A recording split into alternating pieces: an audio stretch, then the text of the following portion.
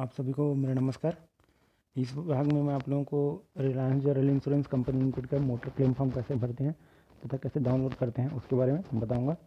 तो सबसे पहले आपको दिख रहा है ये motor claim form motor claim form में आपको दिख रहा है ये ये नंबर दिख रहे हैं one eight double zero three double zero nine इस नंबर पर आपको फ़ोन करके क्लेम की सूचना देना है और उसके निर्देशों का पालन करना है। वो आपको पॉलिसी नंबर पूछेंगे। गाड़ी नंबर पूछेंगे और जो उस समय ड्राइवर गाड़ी ड्राइव कर रहा था, उसका ड्राइविंग लाइसेंस नंबर पूछेंगे। तो आपको सबसे पहले कागज़ में गाड़ी का एक्सीडेंट डेट टाइम और प्लेस तथा ड्राइवर का नाम और ड्राइवर का जो लाइसेंस नंबर है, वो एक कागज़ में लिख के रख लेंगे। तो इससे आसानी होगी और इस नंबर पे आप कॉल कर लेंगे। One eight double zero three double zero nine या फिर zero double two four eight nine zero three double zero nine पर आप कॉल करके असिस्टेंट को सूचना दे देंगे सूचना देने के बाद वो आपका सूचना एकत्र करेगा। सूचना एकत्र करने के बाद वो आपको एक क्लेम नंबर देगा। उस क्लेम नंबर को आपको नोट करके किसी कागज़ में रखना है, ठीक है? अब ये हो गया आपको क्लेम की सूचना कैसे देना है, ये बता दिए। अब देखते हैं इसको डाउनलोड कैसे करना है। तो डाउनलोड करने के लिए सबसे पहले आप गूगल क्रोम पे चल दीजिए। गूगल पे चल दीजिए और लिखिए रिलायंस जनरल इंश्योरेंस ठीक है? ये लिखने के बाद जैसे ही रिलायंस जनरल इंश्योरेंस आप गूगल सर्च करेंगे, इस प्रकार से उसका एक साइट खुलेगा। ये Reliance General Insurance Company Limited करके उसको आप ओपन कर देंगे। इस प्रकार से वो ओपन हो जाएगा। ओपन होने के बाद ये आपका होम पेज खुलेगा। जब आपका होम पेज खुल जाएगा तो होम पेज में देखिए, यहाँ पे दिख रहा है क्लेम्स दिख रहा है, ठीक है? क्लेम्स को आप क्लिक करेंगे। तो क्लिक करने के बाद देखिए, उसमें मोटर इंश्योरेंस दिख रहा है ना? तो मोटर इंश्योरेंस आपको क्या करना है? टिक कर क्लिक करना है। इसको आपके ऊपर क्लिक कर देना है, ठीक है? क्लिक करेंगे तो इस प्रकार से आगे जाएगा और ये खुलेगा, ठीक है? ये क्लेम दिख रहा है। आप यहाँ पे भी रजिस्टर कर सकते हैं हाउ टू रजिस्टर क्लेम करके, लेकिन ये थोड़ा सा नहीं बनता कई लोगों से तो इसको मत कीजिएगा। ये आपको जो टोल फ्री नंबर दिया है, उसी नंबर पे आप कॉल करके बता दीजिएगा। उसमें आपको जो सूचनाएँ मांगी जाएगी, वो सूचना दे देंगे। सूचना देने के बाद आपको क्लेम नंबर दे दिया जाएगा, ठीक है? ये, उसके बाद आपको फॉर्म कैसे डाउनलोड करना है? तो देखिए यहाँ पे क्लेम फॉर्म लिख रहे हैं ना, उसको आप क्लिक करेंगे, ये क्लिक कर दिए, उसके बाद विभिन्न प्रकार के आपको क्लेम फॉर्म दिखते जाएँगे। तो हमारा काम क्या है, कौन सा है क्लेम फॉर्म करना है, हमको मोटर क्लेम फॉर्म डाउनलोड करना है ना तो मोटर क्लेम फॉर्म जो आएगा, उसको आपको टिक कर देना है, ठीक है? ये देखिए आ गया मोटर क्लेम फॉर्म इसको आपको टिक कर देना है, ठीक है? उसके बाद डाउनलोड ऑप्शन को दबा देंगे डाउनलोड हो जाएगा। तो जब डाउनलोड हो जाएगा तो इस प्रकार से आपको फॉर्म दिखेगा। अब इसको भरना कैसे है, बता देता हूँ। सबसे पहले पॉलिसी नंबर डाल दीजिएगा। कवर नोट नंबर डालने की ज़रूरत नहीं है। पॉलिसी पीरियड डाल दीजिएगा, कब से कब तक का है, ठीक है?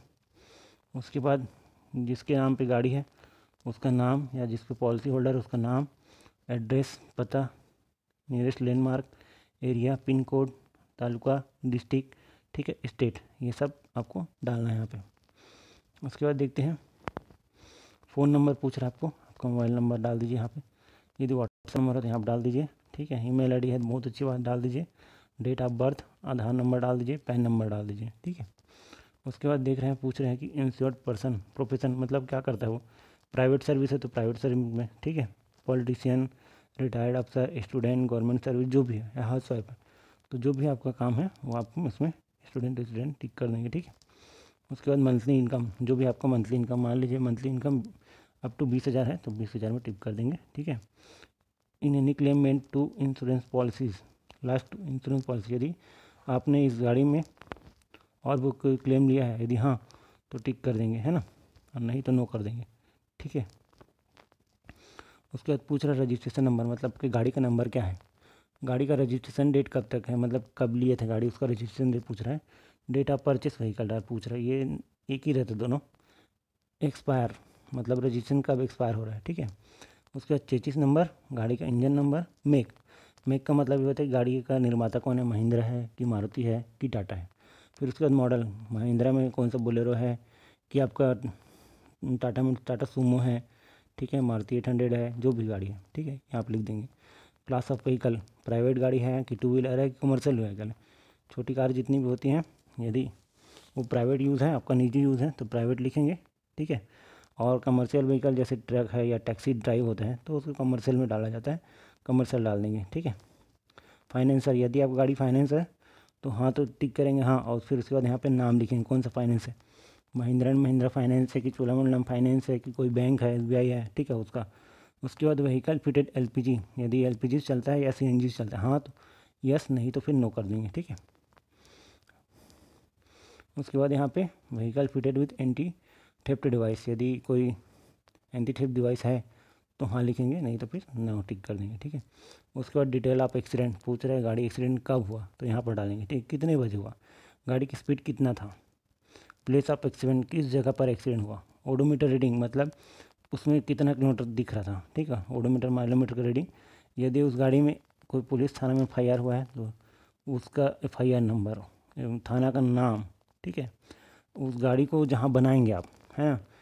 तो जब गाड़ी एक्सीडेंट हो जाती है तो गाड़ी एक्सीडेंट होने के बाद जिस भी गैरेज में उसको लेके जाते हैं तो उस गैरेज का नाम यहाँ पर लिखना है, ठीक है? और गैरेज के द्वारा बनाया गया इस्टीमेट अनुमानित खर्चा, ठीक है? वो डाल देंगे आप। उसके बाद यहाँ पे गैरेज वाले का फ़ोन नंबर, जो कॉन्टेक्ट पर्सन होगा, ठीक है? उसका नंबर डाल देंगे। पर्सन ट्रेवलिंग इंक्लूडिंग ड्राइवर मतलब यहाँ पे ये लिखना है कि उस गाड़ी में ड्राइवर के साथ और कितने लोग बैठे हुए थे, ये यहाँ पे नंबर डाल देंगे, ठीक है? डिस्क्रिप्शन ऑफ़ एक्सीडेंट मतलब एक्सीडेंट कैसे हुआ? आप कहाँ से कहाँ जा रहे थे? गाड़ी कैसे एक्सीडेंट हुआ? उसका पूरा डिटेल यहाँ पे भरना है, ठीक है? मान लीजिए आप रायपुर से पिथौरा जा रहे थे और जानवर को बचाते हुए आपने गाड़ी को डिवाइडर पे चढ़ा दिया। तो इस प्रकार से उसको लिखना है आपको। किस पर्पज़ के लिए आप उसका उपयोग कर रहे थे? पर्सनली यूज़ के लिए कर रहे थे तो उसमें टिक करना है। यदि कोई टैक्सी यूज़ कर रहे थे तो उसमें लिखना है। यदि कोई माल वाहन कर रहे थे तो उसमें लिखना है, ठीक है? उसके बाद व्हीकल वास प्लेइंग फ्रॉम कहाँ से कहाँ जा रही थी गाड़ी? यहाँ पे डालना है, ठीक है? यदि कोई थर्ड पार्टी इन्वॉल्व था तो हाँ तो इसमें डाल देना है एक्सीडेंट के लिए, और नहीं तो नहीं, ठीक है, छोड़ दीजिएगा। उसके बाद यहाँ पे पूरा मैप बनाना है, गाड़ी कैसे एक्सीडेंट हुआ, उस रास्ते पे किस चौक पे एक्सीडेंट हुआ, ऐसे करके यहाँ पे बनाना है इस प्रकार से। मान लीजिए, यहाँ पे एक्सीडेंट हो तो यहाँ पर बता दीजिएगा, ठीक है एक्सीडेंट हुआ ऐसे करके। तो इस प्रकार से ये हो गया। अब driver at time of accident मतलब जब गाड़ी दुर्घटनाग्रस्त हुआ तो उस समय गाड़ी को कौन चला रहा था? तो यहाँ पे जो चला रहा था, उसका नाम डालना है, उसका पता डालना है, उसका फ़ोन नंबर डालना है, उसका डेट ऑफ़ बर्थ डालना है मेल या female licence number licence number गाड़ी का जो driving licence number licence number दिया रहता है, जैसे सी जी ज़ीरो सिक्स है ना सी जी ज़ीरो फोर फिर दो हज़ार दस, इस प्रकार से रहता है लाइसेंस नंबर तो लाइसेंस नंबर डाल देंगे। उसके जो भी आपका ड्राइविंग लाइसेंस रहता है, उसके सबसे नीचे में देखना H G V transport L M लिखा रहता है। तो जो जो लिखा रहता है उसको टिक करना है। मान लीजिए एल एम वी लिखा है तो एल एम पर टिक कर देंगे, ठीक है? एच जी वी लिखा है तो एच जी वी पर टिक कर देंगे, ठीक है? इस प्रकार से आपको टिक करना है। उसके बाद आपका जो ड्राइवर है, यदि मालिक स्वयं था तो ऑनर में टिक करेंगे। और यदि किसी को पैसे दे के ड्राइवर ड्राइविंग कर रहा है तो पेड ड्राइवर ठीक है? और यदि कोई और था, जैसे कोई भाई है हमारा, कि छोटा भाई है, बड़ा भाई है तो उसमें इसमें टिक करेंगे। फिर यहाँ पे लिखना है ब्रदर। ठीक है, ब्रदर लिख देंगे। ठीक है। उसके बाद was the driver under influence alcohol alcoholic था या क्या? नहीं था, उसको यहाँ पर डालना है। फिर ड्राइविंग लाइसेंस परमानेंट है तो परमानेंट पे टिक करेंगे। और यदि लर्नर है तो लर्नर पे टिक कर देंगे। ठीक है। Driver involved in the other accident in last two year मतलब जो ड्राइवर है आपका, वो लास्ट टू ईयर में किसी और एक्सीडेंट में इन्वॉल्व था। हाँ तो वहाँ लिखेंगे, नहीं तो नहीं लिखेंगे। ठीक है। डिटेल्स आप required for commercial vehicle commercial vehicle मतलब व्यापारिक वाहन, जैसे ट्रक या फिर बस उसके लिए होता है। तो यहाँ पे लिखना है आपको, आपका गाड़ी कौन से, किस प्रकार का गुड्स या माल लेके जा रहा था, वो। फिर यहाँ पे जी आर डी ठीक है? उसके बाद पैसेंजर के टाइम यदि बस है तो कितने लोग उसमें बैठे थे? परमिट का टाइप परमिट नंबर डालना है। फिर परमिट कब से कब तक वैलिड था, ठीक है? परमिट कहाँ से इशू किया गया था? उसका फिटनेस कब तक वैलिड था, ये लिख देंगे।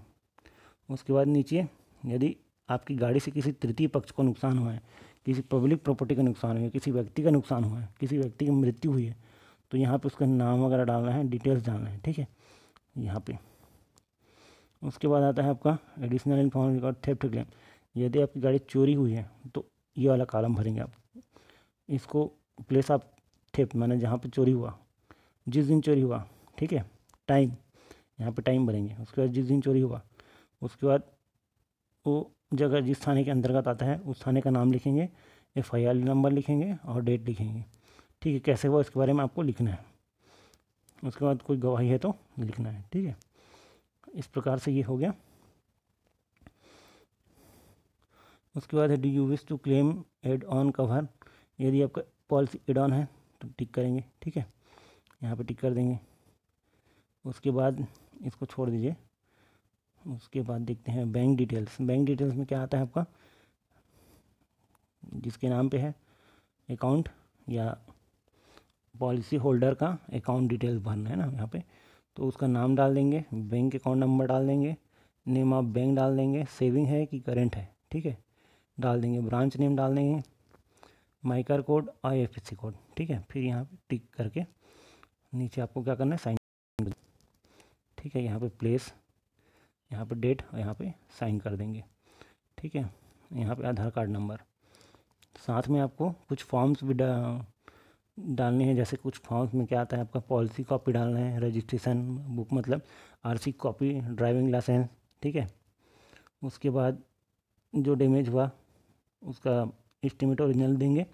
लोकेशन आप एक्सीडेंट लोकेशन बताना है आपको ठीक है। और यदि एफआईआर है तो एफआईआर को डालना है। ठीक। उसके बाद फिर यहाँ पे आपको प्लेस जगह का नाम डेट और यहाँ पे साइन करना है। ठीक है claim number name of garage make and model ठीक। तो ये सब चीज़ यहाँ पे फिर एक बार चेक कर लीजिएगा। यहाँ पे दिया हुआ है क्या क्या आपको डालना है। उसमें आपको फिर बैंक पासबुक वगैरह जो भी है, आपको डालते जाना है और टिक करते जाना है। क्या क्या फॉर्म वगैरह आपको सर्वेयर आपको सहायता करेगा। ठीक है, ये सब फॉर्म वॉर्म भर के आप आप अपने सर्वेयर को दे देंगे। और सर्वेयर इसको ऑफ़िस में जमा कर देगा, फिर आपका क्लेम शीघ्र शीघ्र प्रोसेस हो जाएगा। तो वीडियो देखने के लिए आप लोगों को धन्यवाद। वीडियो अच्छा लगा हो तो प्लीज़ लाइक कीजिए शेयर कीजिए तथा हमारे चैनल को सब्सक्राइब कीजिए। Thank you